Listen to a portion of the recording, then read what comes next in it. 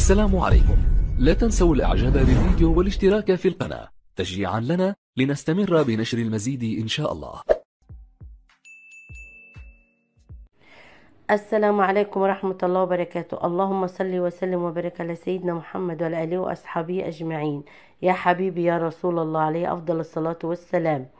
ازيكم يا حبايبي؟ عاملين إيه؟ كل سنة وأنتم طيبين. وعود عليكم وعلينا الأيام بخير يا رب العالمين. ويرزقكم يرزقنا من حيث لا نحتسب. وبلغكم رمضان على خير. يا رب العالمين. أنا بشكركم جدا على دعمكم ليا والكلام الجميل اللي بتكتبوه ليا في الكومنتات اللي بيديني طاقة إيجابية. واجعلوا يا رب الكلام اللي بتكتبوه ليا في ميزان حسناتكم. والنجاح والتوفيق لنا كلنا جميعا يا رب العالمين. وربنا ينجح لكم اولادكم جميعا في الدراسة. اللهم آمين يا رب العالمين.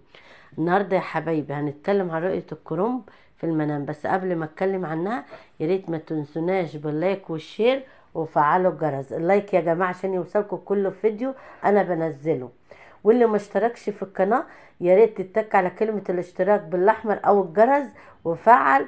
وإن شاء الله بإذن الله تشرفوني وتنوروني في القناة بتاعتي. بإذن الله. الكرنب يا جماعة رؤيته غير مستحبة غير محمودة نهائي. فاللي يشوف رؤية الكرنب في المنام يا ريت يستعيذ من الشيطان الرجيم ويصلي ركعتين أو يطلع صدقة لأن الكرنب جاية من كلمة كرب وهم. لو طالب شاف الكرنب يا جماعة يعرف على طول إن هو داخل على مرحلة هم وكرب ربنا يبعد عنهم يا رب كلهم جميعا أو حمل المذاكرة تقيل عليه أو مش مش عارف يذاكر أو هيتعب فربنا يا رب يحفظ ولادكم جميعا.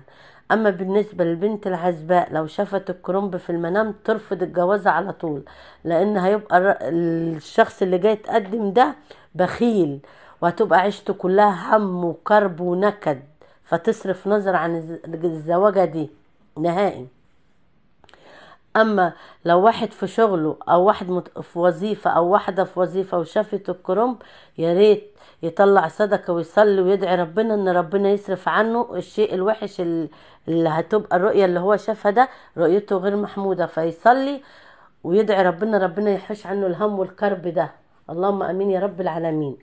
تمام يا جماعة؟ فرؤية الكرنب بقى ملفوف محشي لأن هو محشي رز والرز جاي من رزية. يعني الرز كمان رزية فرؤيته غير محم... غير مستحبة. عشان كده أنا بقول اللي يشوف رؤية الكرنب يا ريت يطلع صدقة أو يصلي ويدعي إن ربنا يحش عنه الهم والكرب. ولو واحد مريض شاف الكرنب يا ريت يطلع صدقة فورا لأن هيزيد تعب وهيزيد مرض. ولا قدر الله وربنا يشفي كل مريض يا رب العالمين. ويرزقك ويرزقنا من حيث لا نحتسب. ويبعد عنكم أي حاجة وحشة يا رب. كل اللي إحنا بنحبهم كل أمة المسلمين يا رب العالمين. ويا ريت ما تنسناش باللايك والشير وفعلوا الجرس. والله أعلى وأعلم.